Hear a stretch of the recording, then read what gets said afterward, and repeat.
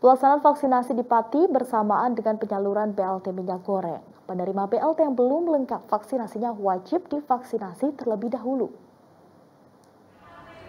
Warga penerima BLT minyak goreng wajib menunjukkan bukti sudah vaksin dan jika belum di, akan disuntik vaksin di tempat yang sudah disiapkan oleh kantor pos setempat.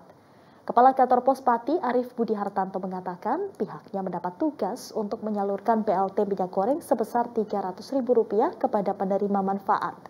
BLT dibagi tiga bulan, per bulannya Rp100.000 dan harus selesai sebelum lebaran. Selain itu, ia juga membagikan BST sembako tunai Rp200.000 sehingga total diterima oleh penerima manfaat sebesar Rp500.000 kami menerima tembusan surat dari Bupati terkait dengan penyaluran uh, program ini harus uh, bersinergi juga dengan program Dinkes yaitu vaksinasi ya. Lakukan program ini secara bersinergi bersama. Maka sudah menjadi kewajiban dan harus kita sukseskan bersama penerima vaksin dulu atau sebaiknya